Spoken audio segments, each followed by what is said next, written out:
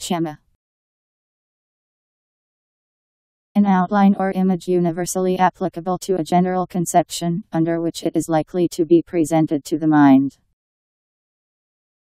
A formal description of the structure of a database, the names of the tables, the names of the columns of each table, and the type and other attributes of each column, and similarly for the descriptive information of other data description structures, such as the ones of XML files.